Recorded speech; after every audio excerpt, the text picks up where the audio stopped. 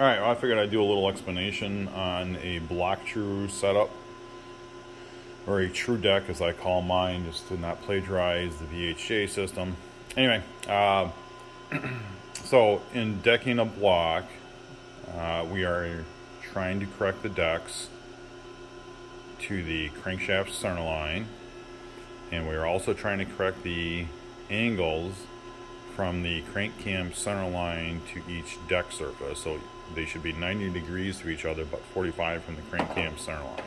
Well, what often happens is the factory uh, can bore the cam center line uh, off its original location of where it should be, which therefore tends to shift the deck angles off. So this fixture here, the two inch ground bar goes through locators on the mains uh, after it's been line honed.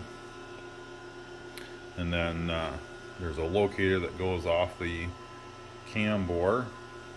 And then that plate is a precision plate that I made on a very expensive CNC at the time uh, to use as a reference point.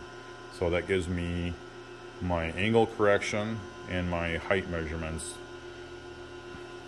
excuse me, to actually set the actual deck height to what it needs to be. So uh, most machine shops just go off the existing deck surface. The problem with that is they are not true. Uh, they are not generally parallel to the crank center line. Uh, and by not true, I mean that the angles are not true. Uh, and you're also talking about a warped deck surface. So,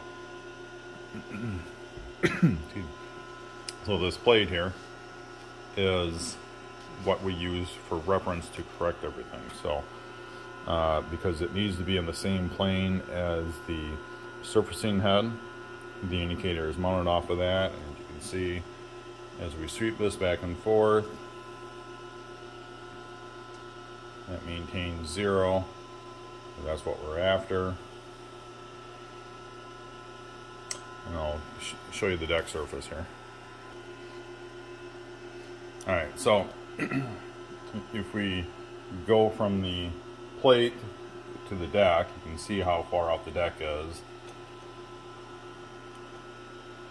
This block is off 10 thousandths, which I haven't done the math, I guess, at that distance uh, and the angle to see how far off that is, but that's a fair amount. So uh, this is why we don't indicate off the deck surfaces to deck a block like this. This, you know, this is why everything that I do here that gets decked gets corrected off the main and the cam center lines using this fixture setup.